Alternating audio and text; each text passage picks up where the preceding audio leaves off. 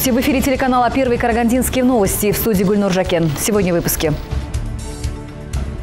В Карагандинской области продолжается реализация комплексного плана по оздоровлению экологии. План включает мероприятия по снижению выбросов загрязняющих веществ крупными промышленными предприятиями. Тимиртауских школьников научат сортировать перерабатываемые отходы. В школах установят контейнеры, куда можно складывать макулатуру, пластик и другие отходы. Очереди в детские дошкольные учреждения, получение социального жилья. Обо всем об этом карагандинцы могли спросить чиновников напрямую. В Октябрьском районе провели очередную ярмарку государственных услуг.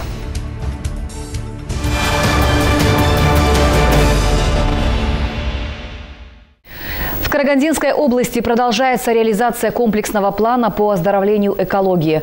План включает мероприятия по снижению эмиссии загрязняющих веществ в атмосферу крупными промышленными предприятиями. Об этом рассказал руководитель Департамента экологии в ходе брифинга в региональной службе коммуникации. Более 50 миллиардов тенге предусмотрено на реализацию комплексного плана по оздоровлению экологической ситуации в Карагандинской области и в первую очередь в Тимиртау. План включает мероприятия по снижению эмиссий загрязняющих веществ в атмосферу крупными промышленными предприятиями. Предусматривается реконструкция и установка очистного оборудования, модернизация производства. Учтены меры по повышению энергосбережения в городе по управлению отходами и охране водных ресурсов ресурсов. Кроме того, предприятия представили свои проекты. По ArcelorMittal и по э, Базил Групп и по э, Темп есть э, конкретные, конкретные есть план мероприятий, который предусматривает это те фильтра, которые стоят, его более на, модернизируют на новые последние э, слово техники на фильтра. Есть цеха, которые миксерные, ArcelorMittal Темнотал, где э, коксохимическом производстве, угольном, самом доменном. В этих полная идет модернизация. Эта программа у них тоже заложена в ArcelorMittal Темнотал, как я уже выразил, на государственном языке более 30 миллиардов у них на тригодичный план у них Полигоны для складирования твердых бытовых отходов – это еще одна серьезная проблема нашего региона. Всего в Карагандинской области более 200 полигонов, однако узаконены лишь 35 из них. Остальные не имеют правоустанавливающих документов. Кроме того, главный эколог области отметил, что с 1 января твердый бытовой мусор нужно сортировать. На, сегодняшний день да, установлено по городу Тимиртау ой, по городу Тимиртау, сортировочной линии по городу Караганды. Сейчас есть э, э, сортировочные линии, готовится э, презентация недавно прошел еще на одно сортировочную линию по линии Гор, Горкомтранс. Производство мощность 200 тысяч тонн. Идет на сегодняшний день работа по сортировочной линии по городу Жирсазан, Сатпаев идет и по городу Балхаш. В целом, в Департаменте экологии отмечают, что в Карагандинской области зафиксировано более 500 объектов несанкционированного размещения отходов, иначе говоря, стихийных мусорных свалок. Ликвидировать их начнут с наступлением теплого времени года. Андрей Теноман, Кужанов, Андрей Тимофеев, Первый Карагандинский. И в продолжение экологической темы. Тимиртауских школьников научат сортировать перерабатываемые отходы. В школах установят контейнеры, куда можно складывать макулатуру, пластик и другие отходы. В первые дни февраля проводятся экологические дни под лозунгом «В переработку». Тимиртауских школьников научат сортировать перерабатываемые отходы. В школах установят контейнеры, куда можно будет складывать макулатуру, пластик и другие отходы для дальнейшей переработки. Учащимся расскажут о преимуществе данной инициативы, а также продемонстрируют самые простые способы организации раздельного мусора у себя дома. Предстоящему мероприятию посвятили специальный семинар для педагогов. Организатор отмечает, что подобные эко-дни уже успешно были проведены в областном центре. Сегодня э, это действие переносится сюда, в город Тимиртау. Э, участие будут принимать э, 40 организаций образования. Завтра пройдет, сегодня у нас будет круглый стол по вопросам инклюзивного образования, по формированию экологической культуры детей данной социальной группы, э, с привлечением социального бизнеса, с участием фонда. Мы во всех процессах готовы участвовать. Данная социальная группа – это воспитанники областной специальной школы-интерната номер два для детей с ограниченными возможностями в развитии. Внедрение экологической направленности в инклюзивное образование позволит ребенку полюбить природу и самого себя, заявляют организаторы. На семинаре воспитанники школы-интерната продемонстрировали свои экологические проекты. Да, мне нравится. Все сегодня такое интересное. И у каждой в нашем классе есть своя станция. Да? Да. Что вы делаете на этой станции? Ну, мы с бабушкой, мы, мы рассказываем про экостиль, образ жизни. В день проведения акции также будет подписан трехсторонний меморандум о сотрудничестве в сфере раздельного сбора твердых бытовых отходов. Документ подпишут отдел образования Тимиртау, Фонд развития общественно значимых инициатив и компании, которые занимаются сбором и переработкой отходов. Пытаемся, что совместно э, с нашими партнерами привить э, детям вот эти навыки экологического, правильного экологического подхода, образования, для того, чтобы понимать, что э, все, что можно переработать, второй раз, третий раз надо, как бы, конечно, это делать. Что мы первое делаем? Конечно, это уменьшает нагрузку на экологию, потому что мы, условно говоря, не пользуемся теми ресурсами, которые у нас природными есть, уменьшаем это количество, а пытаемся те ресурсы, которые уже добыты, как бы пустить еще раз в производство, еще раз это переработать. Акция, получившая название «В переработку», это часть республиканского экологического конкурса «Эко-челлендж». Цель конкурса – организовать системную работу по продвижению раздельного сбора твердых бытовых отходов как одного из основных компонентов стратегии низкоуглеродного развития с участием организации образования, родителей и всех жителей. Андрей Тен, Сергей Высокосов, Андрей Тимофеев, Первый Карагандинский. Карагандинской области стартовали отчетные встречи Акимов. Глава областного центра Нурлан Аубакиров встретится с населением дважды. 12 февраля Аким Караганды отчитается перед жителями Октябрьского района. Встреча пройдет во Дворце культуры железнодорожников. Начало в 15 часов. А 14 февраля участниками станут жители Казбекбийского района Караганды. Встреча состоится в 15 часов в Большом зале городского Акимата. В администрации отмечают, что во встрече может принять участие каждый житель. Если же нет возможности присутствовать лично, то задать вопросы можно в письменном виде.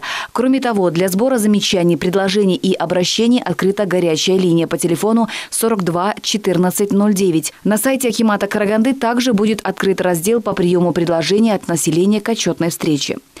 Стоит отметить, что в прошлом году градоначальник Нурлан Албакиров также провел две встречи с населением. Во время прошлых отчетных встреч горожан волновали повышение цен на продукты питания, увеличение очереди на получение социального жилья, проблемы в работе общественного транспорта и многое другое. К другим новостям. Более 66 килограммов марихуаны изъято у жителя Караганды. По сообщению областного департамента полиции, 31 января при проведении оперативных мероприятий сотрудники полиции установили и задержали 39-летнего мужчину. На территории его дома обнаружено и изъято более 66 килограммов наркотических веществ. Согласно проведенной экспертизе, установлено, что данное вещество является марихуаной. Задержанный помещен в изолятор временного содержания. Данный факт зарегистрирован единый реестр досудебного расследования, назначены соответствующие экспертизы, проводятся досудебные расследования. Спасатели вызволили кондуктора автобуса, которое оказалось зажато искореженным металлом. Произошло это в результате столкновения автобуса со стеной здания на территории пятого автопарка Караганды. Как сообщает пресс-служба областного департамента по чрезвычайным ситуациям, произошло столкновение пассажирского автобуса марки «Мерседес» со стеной маслосклада. Силами ДЧС женщина деблокирована и передана бригаде скорой медицинской помощи.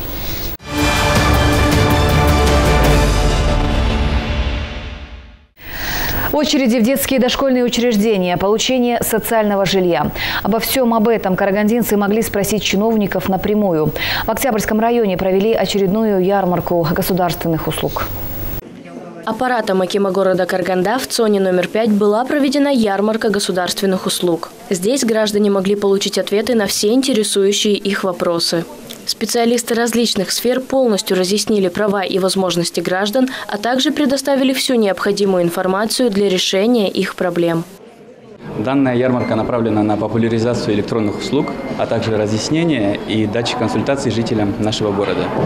Ранее э, ярмарка государственных услуг была проведена в торговом доме «Таир», мы планируем в будущем охватить все районы нашего города для удобства всех граждан, так как э, не у всех есть возможность посетить Акимат и получить необходимые консультации. На мероприятии были собраны местные исполнительные органы, органы здравоохранения и госдоходов, а также юстиции. Консультативно-методическую помощь для населения оказали специалисты многих государственных учреждений. Организаторы также пояснили, что чаще всего к ним обращаются с вопросами об образовании, очередях в детские сады и предоставлении жилья. Мне очень интересовал один вопрос э, по поводу архитектуры. Я его задала. Мне прям подробно все объяснили, все рассказали. Все ли вас устраивает? Все устраивает. А, получается, у девушки был вопрос по строительству балкона. А, на вопрос мой, какого года жилой дом, она сказала где-то примерно 50-60 года. Есть закон об деятельности, а, где указывает статья 62, то, что изменение фасада того или иного объекта производится с согласия первичного архитектора данного строения. То есть строительство балкона, если она разработает проект на реконструкцию жилого дома со строительством балкона, то ей нужно будет получить согласование с первичным архитектором данного строения. Так как год 50-го, э, год строения 50-й, следовательно, разрешение она получить не сможет. Э, и итог строительства балкона произвести невозможно. Также гражданам рассказали о преимуществе получения услуг через государственную корпорацию «Правительство для граждан» и портал электронного правительства. Ярмарка была организована с участием Департамента агентств по делам Государственной службы противодействия коррупции, а также Департаментом государственной корпорации «Правительство для граждан». Получить подобные консультации люди смогут в ЦОНе номер 6 7 февраля. Яна Гапонова, Айдын Жакан, Андрей Тимофеев, Первый Карагандинский. И еще об одном. Напряженным и драматичным получился матч в Рязани. Проигрывая в счете 0-2, Сарарка смогла сравнять счет. Имела ряд моментов, чтобы вырвать победу. Но основное время и овертайм победителя не выявили. Судьба матча решилась в серии после матчевых бросков. Итог встречи 3-2 в пользу Рязанского хоккейного клуба. Стремительные атаки в самом начале матча – это уже стало визитной карточкой карагандинской команды. Однако в матче с Рязанью первыми счет открыли хозяева – 1-0 в первом периоде. Во второй 20-минутке соперники обменивались быстрыми атаками. Сарарка имела двойное численное преимущество, однако не смогла его реализовать. Еще одно удаление у Рязани случилось за 38 секунд до окончания второго периода. До сирены заброшенных шайб не было. А вот на старте третьего периода рязанцы в меньшинстве удвоили преимущество в счете 2-0. Но этот счет продержался совсем недолго. Уже через 36 секунд Артур Сарваров забросил шайбу в ворота соперников. А немногим позже было реализовано еще одно большинство. На этот раз активно на чужом пятаке поборолся Павел Махановский. 2-2 с таким счетом закончилось основное время матча. Не выявил победителя и овертайм, а в серии послематчевых бросков Рязань оказалась точнее. Они реализовали три из пяти попыток, в то время как Сарарка лишь однажды поразила ворота рязанцев. 2-3 поражение карагандинцев в матче с соседом по турнирной таблице. Хороший первый период.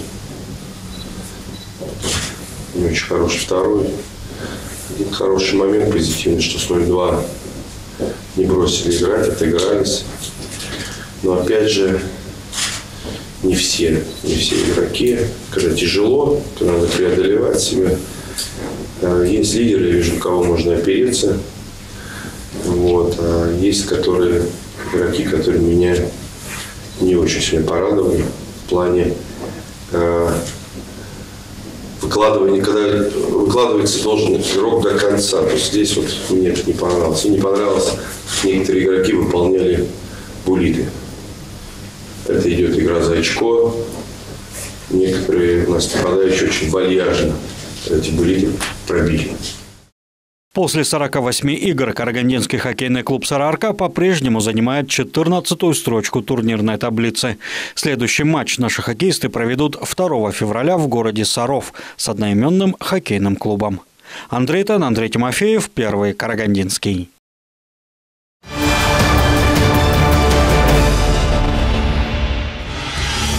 Это были все новости на сегодня. Спасибо за внимание. Если у вас есть интересная информация, звоните нам по телефону 420649 и смотрите наши новости на сайте канала.